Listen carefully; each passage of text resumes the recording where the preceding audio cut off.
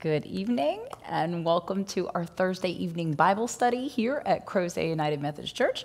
I'm Sarah, the pastor, and as we are working our way around and through the Bible, tonight we're going to do the shortest of the Old Testament books, and that is the prophetic book of Obadiah. Um, and so up here I've got written the shortest OT book, OT for Old Testament. Of course, if we were studying together with um, any of the other Abrahamic faiths, like our Judaic or our Islamic siblings in faith, then we wouldn't be using OT. I would have HB, Hebrew Bible, up there. But we're here together, and I think it's okay for us to go with OT. But we're going to be talking about Obadiah. It has no chapters, it's only 21 verses. So it's something that you could definitely sit down and read. Unfortunately, this is actually one of the least read books of the Bible. And perhaps people have a tendency to think that short is inconsequential or not meaningful. However, that is not the case. And there's a lot of great theology, a lot of good things to ponder in the book of Obadiah, and we're going to get to pay attention to it this evening. So I'm going to erase this as we get there. This is, of course, immediately following the book of Amos, which we finished last week, and preceding the book of Jonah, which most people have at least heard of. kind of know the story. So hopefully we'll finish Obadiah and we'll get to talk about that. But let's talk about Obadiah. So, who is this Obadiah? Unfortunately, the book itself doesn't give us a lot of information. So, one of the, the ways that we try to figure out who someone is in the scriptures is to see if there's somewhere else in the scriptures. Well, unfortunately, Obadiah was actually more of a common name than you might think it would be, although there are certainly pockets within the family of Christianity that still use this name. A lot of our um, Anabaptists siblings in Christianity, like the Mennonites and the Amish, they still use the name Obadiah, but there are three places where there are specifically and meaningfully mentioning the name Obadiah. So first, Kings 18:3, there is an Obadiah who works in the palace of King Ahab. King Ahab is the monarch over the northern kingdom of Israel. He is not considered to be a good monarch. He is the one that is married to the infamous Jezebel, and this Ahab actually takes it upon himself to try to hide away some of the prophets of Yahweh and keep them safe because at that time Ahab and Jezebel were persecuting them and murdering the prophets of God. And so this Obadiah will hide them. And then he actually ends up running into Elijah, the prophet of God at that time in First Kings. So there's a little bit of a story there about an Obadiah. Then in First Chronicles, and so Chronicles is the, the, the Bible's using all of 1st and 2nd Samuel and 1st and 2nd Kings and trying to condense it and give it a slight twist in 1st and 2nd Chronicles. The hope was that the people of Israel thought that if you couldn't get through those big books, then maybe you could get through 1st and 2nd Chronicles. So 1st, 1st Chronicles chapter 3 verse 21 lists an Obadiah as a descendant of David through his son Solomon. David actually had lots of children, but Solomon is the one who will follow him on the throne and will be the last monarch to rule over a united northern and southern kingdom in Israel. And so there's, a, there's an Obadiah there. Then there's Nehemiah, chapter 10, verse 5, and in there it mentions an Obadiah as a priest. So could it be one of these? We don't really have a definitive answer because when we look at when this book was written or when the prophet Obadiah was actually prophesying, it's we don't even agree on that. Usually we can give you like a decade or two or at least like within this part of the century that we can try to narrow it down in. Unfortunately, we can't even agree on Obadiah. So some scholars believe that it could be as late as 900 um, BC. Uh, some believe that it could be closer to uh, 600 um, in that area because they believe that it's going to predate the Babylonian exile. Um, and so we will have an opportunity to kind of explore that. But one of the reasons that they do that is because in 587 BC, we get the destruction of the temple in Jerusalem. So, this is when Babylon will lay siege to Jerusalem and they will destroy the temple of God in order to take all of the gilding and all of the accoutrement that is part of the worship and take that back to Babylon with them as the spoils of war. So, they will destroy that temple entirely.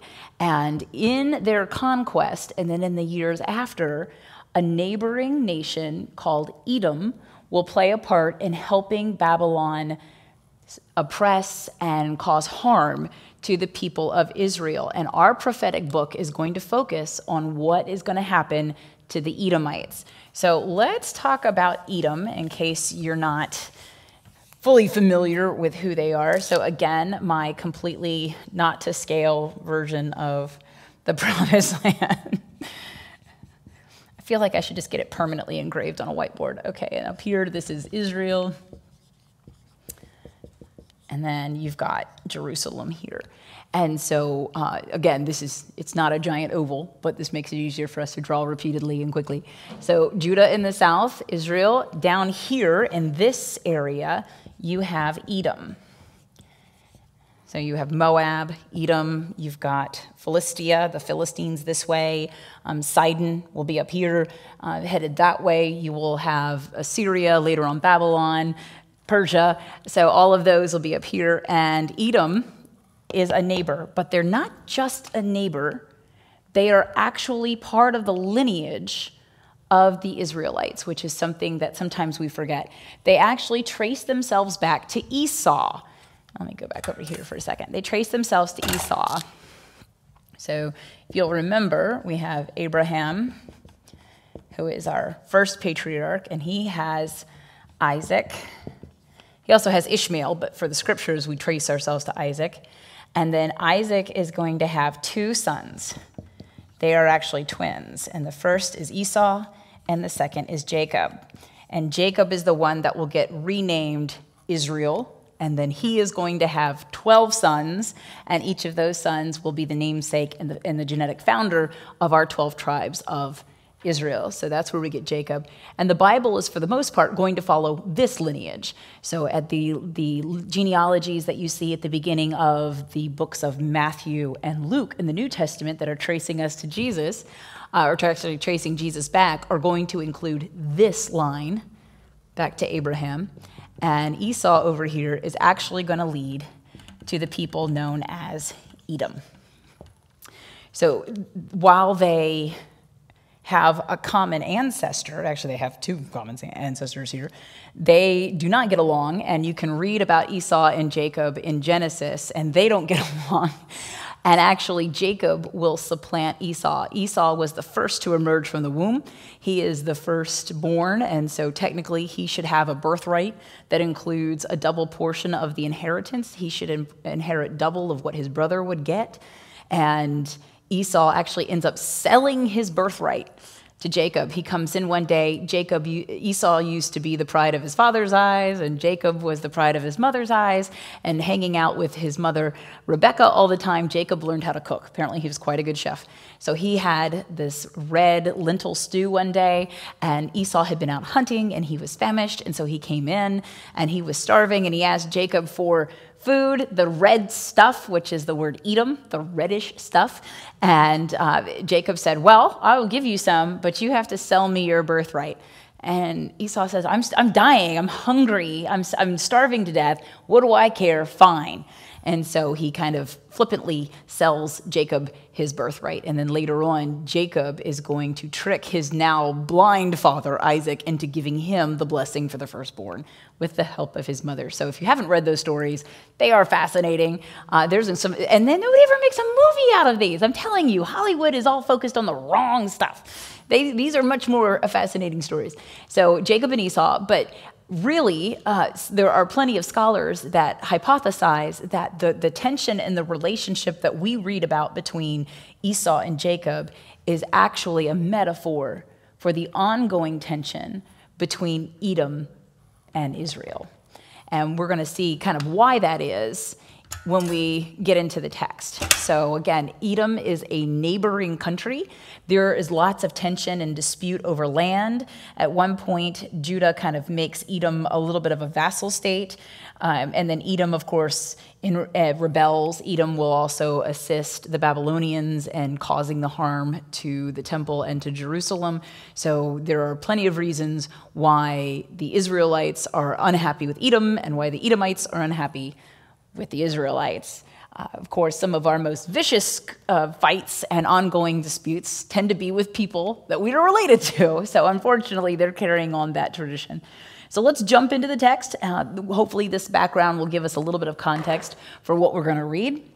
And it's going to start at verse 1 with the vision of Obadiah. So already the text is setting us up to let us know that this is something that the prophet sees. Now, whether he sees it in a dream, whether it's something that only he can see, that God opens his eyes to or not, we don't have that level of detail. All we know is that there is something that he is able to, there's a visual component. He can see it, whether it's in his mind or, or with his actual eyes, but there's a visual component to this message from God. And it starts off with our prophetic utterance, thus says the Lord, God in this case. Uh, usually it says at least, thus says the Lord. But here you'll notice it's not just using the capital L, small caps O R D, which stands for Yahweh, the personal name of God the Father. But here we have the actual title, Master God. This is our God as the prime God. So, thus says the Lord God concerning Edom. It's very rare that we think of our God using one of our ancestors' prophets in order to critique a foreign country. And that's really what the entire passage is going to be about. It would be as if we had um, the modern equivalent of that be a very prophetic preacher who wanted to spend all their time talking about what God was going to do to Canada. Most of us would be like, this is weird. this is a little weird. Uh, that's, that's not typically how we think about our faith nowadays. Um, I'm sure there's somebody out there that's preaching against their neighbor, but uh, that's not how we tend to think of things. And again, we are in a post Christ world. So we have uh, the additional books of the New Testament that shape how we think about our neighbors. And it's interesting because Jesus is going to spend how much time talking about how to interact and act toward our neighbors, and perhaps this is one of the reasons why. So, uh, concerning Edom, we have heard a report from the Lord, and now you see that capital L, small caps O R D for Yahweh. And a messenger has been sent among the nations. And the messenger is saying this Rise up, let us rise against it for battle. So, this is asking, it's kind of the call to arms against Edom. It's calling for battle. I will surely make you least among the nations. So God is declaring this as the prophecy for Edom. You shall be utterly despised. Your proud heart has deceived you, you that live in the cleft of the rock. Or some of you might have a translation that say the clefts of Sela which is actually a geographical area there in uh, what was Seir that becomes known as Edom. Your dwelling is in the heights. You say in your heart, Who will bring me down to the ground? Though you soar aloft like the eagle, though your nest is set among the stars, from there I will bring you down, says the Lord. So their topography of Edom is elevated. In fact, this is exactly why David chose Jerusalem for his city because it was very defendable. It was up on a mount kind of a plateaued mount. And Edom has lots of hills where the people live atop of that. They feel safer there because it's a lot harder to attack up a mountain than it is to repel someone who is climbing from above. And so they are saying that in the text that they feel both arrogant and they feel safe because of where they physically are. Meanwhile, it's what's in their hearts that has caused them to fall they think that because they live up here that they're untouchable. And god says oh no you know first of all i live up here. And there's nothing that i cannot do. So who's going to bring you down? And notice that there's some of the same language that we hear in other prophetic books or that we hear a prophet isaiah likes to use the metaphor of soaring with the eagle, you will mount up with wings like eagles. So we hear that language here. Your nest is among the stars. There's certainly a lot of language about the stars, both in Isaiah and certainly all the way back in Genesis. So we're hearing some of the same language, but it's being kind of turned on its head. You know, you think you soar, but God soars higher. And usually eagles soar up and then they swoop down on their prey. But if the eagle is here, there is someone who is capable of bringing the eagle down. The eagle is not at the top of this food chain. And the same with the stars. You think because you sleep so much higher that everyone else is beneath you. But no, says God, I am still above. And from there I will bring you down, says the Lord. So hopefully you have a break in your text, kind of like a breather, and then we're going to pick up at verse 5. If thieves came to you, if plunderers by night, how you have been destroyed. Would they not steal only what they wanted? If great gatherers came to you, would they not leave gleanings? Um, so, what, what we're kind of seeing here is this vision of when people come, they don't usually clear out everything, they leave something, right? So, if a thief were going to come in the night, they would only take what was valuable, they wouldn't destroy everything. And if uh, the grape gatherers were coming. They don't clear everything. Uh, the gleaning is what is left afterwards so that those that need food are able to come and pick what's left over for themselves or gather what has fallen onto the ground. And so there was actually a prohibition in Israel in the commandments of actually taking everything. You were meant to leave something so that people who were hungry, who didn't have an income, or who didn't have a way to feed themselves and their families otherwise, could do that work and still bring home food and have the means by which to support themselves. So it wasn't meant to have enough food so that they could, you know, take what you had left over and sell it, but that so that they would have a way of eating and feeding their families. But here what we're finding out is that there seems to be an indictment against the way Edom has continually plundered. Actually, let me finish this here so it makes sense. Um, plundered Israel. Um, they help to support. They will help uh, historically to support Babylon when they come in, which leads, of course, to the suffering of the Babylonian exile. And they are also accused of being part of those who actually set fire to Israel, um, I mean to Jerusalem, and because the temple will be utterly destroyed at that point, completely destroyed. Uh, this seems to be a foreshadowing of that event that one of the most high and holy places in all of the promised land is going to be destroyed, and Edom is going to have a hand in that. Not that Babylon wasn't perfectly capable of destroying it on their own, but having the, the sibling nation of Edom participate is almost like just pouring lemon juice on a wound. And so that's the direction from which the text is coming that the plunderers would leave something, the grape gatherers would leave the gleanings. Verse 6 says, How Esau has been pillaged, his treasures searched out. All your allies have deceived you. They have driven you to the border. Your confederates have prevailed against you. Those who ate your bread have set a trap for you. There is no understanding of it. So while Edom thought that it was going to save itself at the expense of Israel by allying with Babylon, ultimately Babylon is also going to be destroying Edom. So it's not going to work out for them in the long run. But this is a play that repeatedly happens, not just in the Bible and not just historically, but this is something that we still see, both on a micro level in human relationships and on a macro level in, in national affairs. That sometimes you try to pick the ally that you think will be best for you in the long run, even if it causes strife with other relationships that you have. And so Edom was kind of gambling by trying to choose Babylon, who seemed to be the world power at the time, and so therefore they were the better bet. But ultimately, Edom forgets that Israel has the Lord. And that's what you're hearing here is the Lord says, You're not going to get away with this. What you have done and what you will do, I have seen, and there will be consequences for that. So it's going to continue on at verse 8. It says, On that day, which we've heard previously in the minor prophetic books, on that day, which is generally considered to be the day of the Lord, the day of judgment, the day of reckoning, that that day I will destroy the wise out of Edom and the understanding out of Mount Esau. So again, you're seeing that, that reference here to their ancestor Esau. Your warriors shall be shadowed, O Teman, so that everyone from Mount Esau will be cut off. For the slaughter and violence done to your brother Jacob. So here it is recalling for us the sibling relationship between these two. Shame shall cover you, and you shall be cut off forever.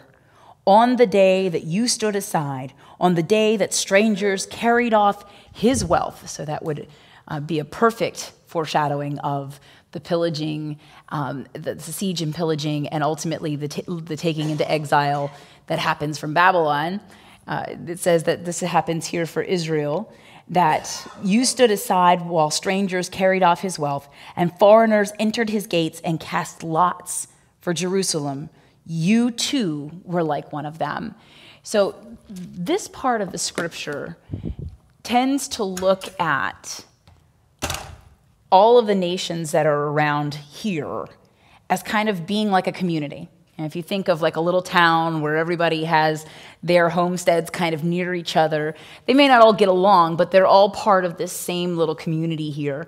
And of course, Edom has a, a significant tie to the people of Israel in the genealogical story that we get about Jacob and Esau.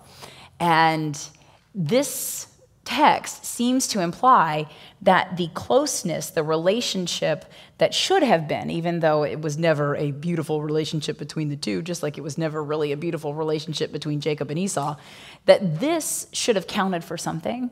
But instead, strangers who come from way up here, Edom will join with them rather than saying, you know, I may not like you, we may not always agree, but you are my neighbor and I will stand with you rather than betray you.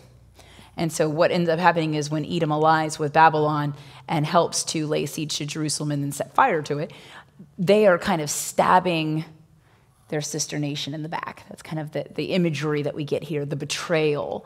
You know, you were of us. The, the lineage, the, um, the understanding of who the Babylonians are in no way, shape, or form relates to these people. And of course, there's, there's an origin story for Moab that ties in with Lot's daughters as well. So there's kind of genealogical stories that the people of Israel understood a, a connection, kind of a profound lineage and genealogical connection to these nations that surrounded it versus the nations that will end up coming from outside of the area that end up doing such harm, not just to Israel or Judah or the people of Israel, but also these other nations. And this is just one of the instances where God says, I have seen what you have done. Babylon was the main perpetrator, but you are an accessory. You have participated and enabled their crimes even more. So, verse 12 says, But you should not have gloated over your brother on the day of his misfortune. So not only did they participate, but then they added the insult to injury by enjoying the suffering of God's people. It says, uh, um, You should not have boasted on the day of their distress, which, of course, this is synonymous parallelism. It's kind of a, a reframing of the, of the preceding verse. So, you should not have rejoiced over the people of Judah, is another way of, on the day of their ruin, is another way of saying you should not have boasted on the day of their distress. This is um, a literary uh, piece that we see repeatedly in the Psalms, this synonymous parallelism. parallelism. Verse 13 says, You should not have entered the gate of my people on the day of their calamity. Course, and that's referring to entering into the gates of Jerusalem after the siege and kind of being part of the conquering army entering in there. Uh, over, you should not have been joined in the gloating over Judah's disaster on the day of his calamity. You should not have looted his goods on the day of his calamity. You should not have stood at the crossings to cut off his fugitives. You should not have handed over his survivors on the day of distress. So here you can just see the painful things that Edom helped to perpetuate. It's bad enough that Judah is overtaken by Babylon. It's bad enough that they lose the battle in the siege of Jerusalem. It's bad enough that Babylon will destroy their holy temple. But then to have your neighbor participate and point out the people that are fleeing, hey, you should get them too, because they're part of Judah, um, is just a, an atrocity on top of the suffering. Verse 15 is going to begin with For the day of the Lord is near against all the nations. So now we're kind of expanding this boundary, expanding who is going to have to have the reckoning. It's not just Edom. all the nations. As you have done, it shall be done to you. Now, of course, Jesus is going to say something very similar, remember? As you forgive, so shall you be forgiven. And, um, and that, of course, is in part of the Lord's Prayer that Jesus will teach to us to pray. But it's the inverse, right? The idea is that if you want to be forgiven, then you should forgive. If you want good things to happen to you, then you should be good to others. But here it's saying, because you have caused pain and suffering, so it shall happen to you. Your deeds shall return on your own head. For as you have drunk on my holy mountain, so they participated in the, the revelry, the post siege and slaughter revelry here on this holy ground. As you have drunk on my holy mountain, all nations you, around you shall drink. They shall drink and gulp down, and shall be as though they had never been. But on Mount Zion there shall be those that escape, and it shall be holy. So, repeatedly in the prophetic books, we get what we call the remnant, this small group that's going to survive, that's going to be where redemption will come forth or arise. And even now it's saying, you know, you thought you helped Babylon destroy everything, but I will have those that will survive, and I will rebuild my holy city, Mount Zion, uh, also known as Jerusalem, and it shall once more be holy. For war and the spilling of blood and the destruction of the temple and the trampling of an unclean people in that area would profane it. But God is saying, I shall once more consecrate it and restore its holy structure. And the house of Jacob shall take possession of those who disposed them. So not only am I going to rebuild what was destroyed here, but they will eventually conquer you as well. And it certainly does, there comes a time where Judah will expand further into Edom and kind of take over this area here and so as make it part of their subjects. So verse, nine, uh, verse 18 says, The house of Jacob shall be a fire, the house of Joseph a flame, the house of Esau stubble. So now we're starting to see not just some of the names here that we're seeing. So we've got reference to Jacob, and Esau will come in just a few. But then you get the house of Joseph. And Joseph is one of Israel's sons, one of Jacob's sons. And of course, it's the beloved son. That's why there's this entire story about what happens to Joseph being betrayed by his brothers, sold into slavery, imprisoned in Egypt, eventually overcoming that and rising to be the second most powerful person in all of Egypt. So it's foretelling and kind of going, it's using the stories that have come before and foretelling that even though it seems hopeless for Joseph, Joseph triumphed.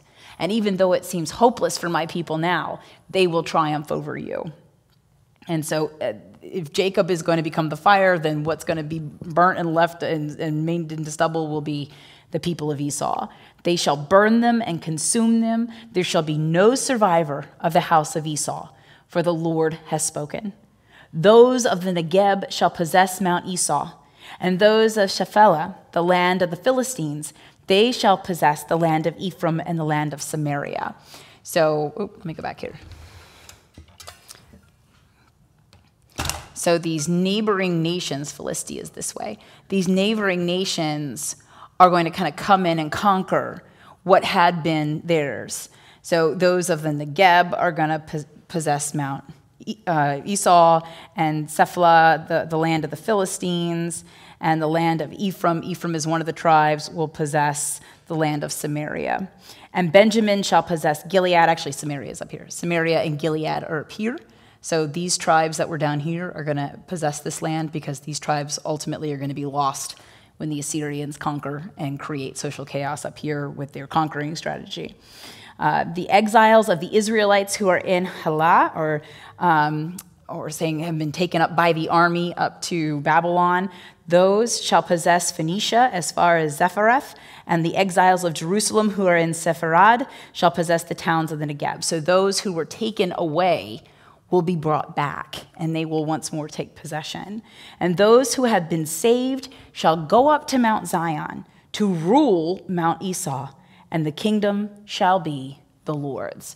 So those that had been conquered and betrayed will return to the land. They will not only get the land back, but they will get other pieces of land that they had not previously had. And God says, I will do all of this as a way of helping my people be restored. Not just restored, but compensated for the suffering that happens. What's intriguing about this is that it's saying that Edom's participation in the in the conquering and the overrunning of Jerusalem and the destruction of the temple is cause for Edom to ultimately be destroyed. And of course, the country of Edom does not exist uh, in our current context. However, the nation of Israel has been reestablished, and the the fact is that if you continue to read the prophetic books, we know because the prophetic books tell us that the Babylonian exile happens because of the sins of God's people. God you know, the text portrays it that God allows that to happen because their their waywardness, their worshiping of other deities, their forsaking God's commandments and their relationship with God has gotten so bad that Babylon kind of provides this horrific timeout for them to reset and rethink, which ultimately does happen. The 70 years of the Babylonian exile allow them to reformulate not only their theology, but how they think about celebrating and practicing their religious faith. And ultimately, it solidifies their identity, which is what leads us up into the arrival of the Christ child. So we're kind of ignoring that, that Judah plays a role in, as being a catalyst for the arrival of the Babylonians, literally and theologically. Literally, when an emissary from Babylon comes to tour the capital, the king at the time decides to uh, be arrogant and prideful and display all his wealth. You never want to show everybody where all your secrets and your wealth are. And he does that, not only dis- displays everything in the palace, but takes the emissary next door and shows the splendor of the temple. And so when the emissary returns back to Babylon, says, You know, there's a little place I visited down here that doesn't seem like much, but they've got something that you're going to want. And so Babylon will come back and will end up taking everything that they had seen. So there's, there's that literal piece there, but there's also the, the theological piece of the people have become very arrogant, just like the monarch and they are relying on other gods, they are relying on their own strength, they have forsaken the Lord, and so that is the theological catalyst for the arrival of the Babylonians. And Edom just decides, we're going to get on that bandwagon. That sounds like a good one to be on. And unfortunately, this means that it's going to forever destroy any hope of, of them finding some kind of peaceful resolution to their, their neighboring disputes so, arguing with your neighbor is a very biblical thing, but it is not a holy thing. There's a difference between something being done in the Bible and something being the will of God. The arguing between these two neighbors is, is, was a reality, a painful reality, but it was not what God wanted. And unfortunately, they not only fed into that, but they allowed it to fester and ultimately ended in Edom betraying their sibling nation with the arrival of Babylon. And so the text just kind of ends just kind of ends. Um, it's, it's an article that uh, it's, it's not a good one, obviously. I'm sure on some level it provided some kind of comfort to these people who have been victimized and um, ultimately have their entire world turned upside down and, and some of it literally destroyed. That to see that God was paying attention, because when it becomes apparent that Babylon was aided by Edom, the, the people that are left here after Babylon comes in and takes the upper echelon of society back to Babylon for the exile, the people that are left are just trying to make sense of what is happening.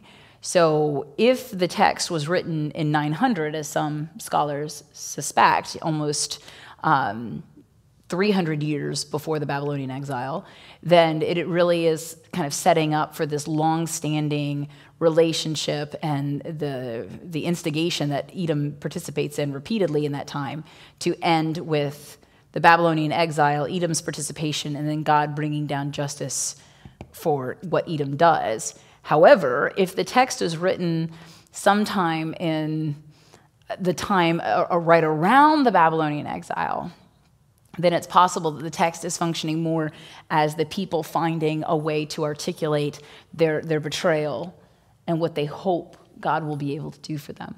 Uh, so there's really no definitive answer. Hopefully, in the kingdom to come, these are eh, questions that we'll be able to ask God. God's going to have a lot of time to answer all of our questions.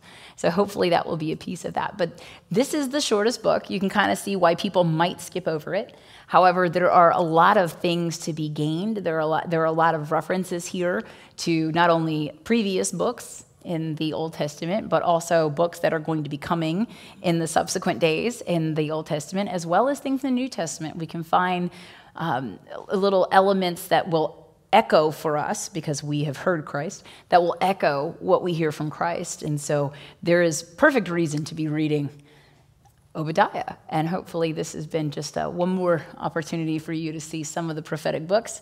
We are actually going to be reading next week Jonah. And Jonah is not a long book. These, again, remember, these are the minor prophets. All 12 of, the, all 12 of these books are considered minor, not minor in importance, but minor in length.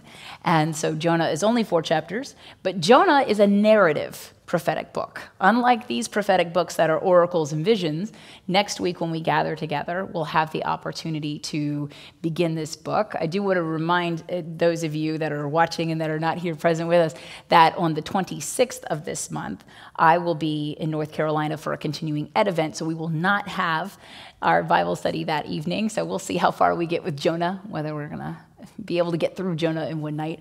I have done Jonah in an hour before, so it all depends on where we want to go and how we feel about it. But uh, Jonah is, is a fabulous book. I think it's one of the most impressive books in the Old Testament that doesn't get a lot of play outside of Sunday school. Sunday school, we talk about Jonah, he was eaten by a whale, yeah. Uh, but there's a lot going on in that text. And um, ironically, of all the prophets in the Bible, Jonah, who is a very unhappy prophet, Um, unhappy with his, with his mantle and his role, is actually the most successful prophet of the entire Bible. And so we'll have an opportunity to see that. But that's really it for Obadiah tonight. So we're probably going to wrap up a little early unless anybody has any questions. Do y'all have any questions? Yes. Why are you going to Jonah instead of Micah? Because Jonah is next. Yeah, the question was why not Micah? Jonah comes before Micah. In your Bible, do you have Micah next?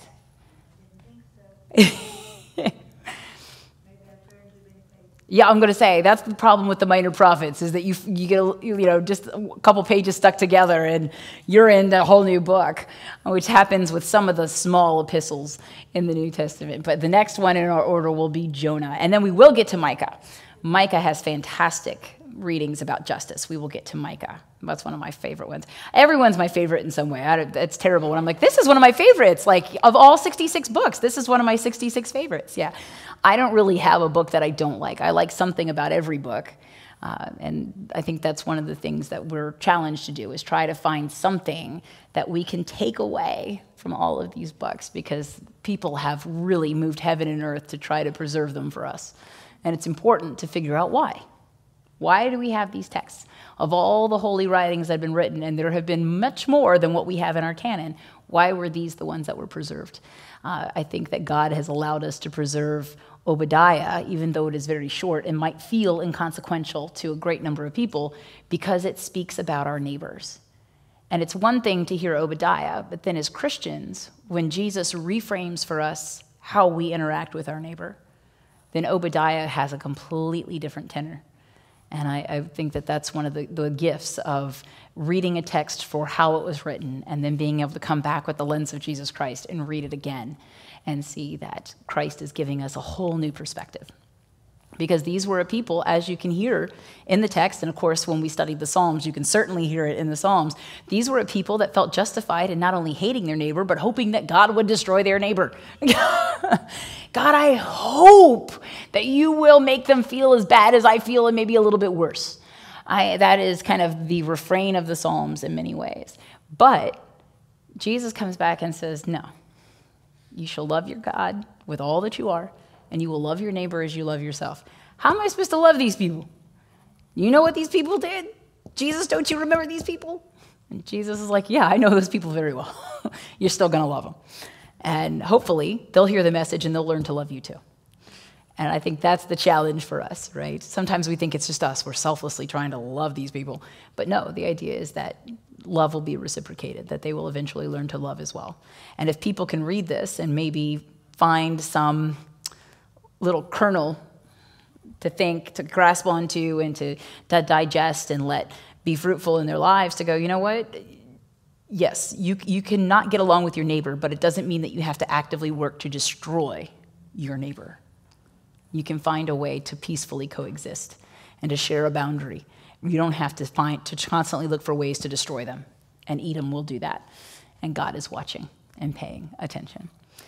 So that is the conclusion of Obadiah. I hope that that wasn't well, i mean we're a little early. I hope that wasn't too short. But it is it is something that's very doable. If you ever have been asked to lead a devotion or read something and be like well i'm going to read from the shortest book in the old testament and everybody will be very impressed that you're able to do that. And you'll have an opportunity to share maybe a reflection and offer an example of struggling with a neighbor. Because i'm sure all of us have had that experience struggling with your neighbor, whether it's the one in the pew or the one at your house, right? There's always that, that one. So before we go this evening, I'd like to take a moment and uh, bring us together in prayer. Let's pray. Thank you, Almighty God. Thank you for your presence with us this evening, for your illumination of this sacred text that your people first heard so long ago. Thank you for using human vessels like Obadiah to share your will for your people. And thank you for those that have no name or face to us, but who heard you in the prophet and chose to not only remember and recall his words, but to write them down, to preserve them, so that we who are here today can look back and find your truth still pertinent for us.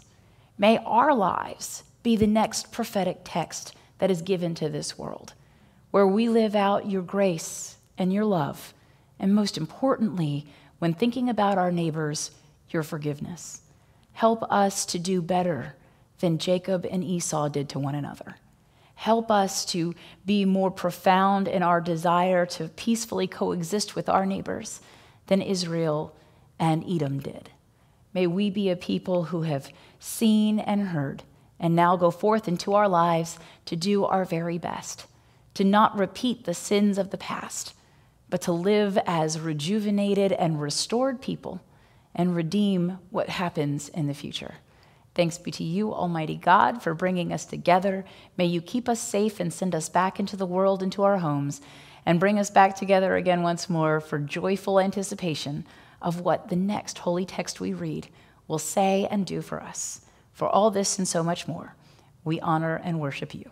In your holy name we pray. Amen. Thank you so much for joining us and look forward to seeing you next week with the prophet Jonah. Have a great night.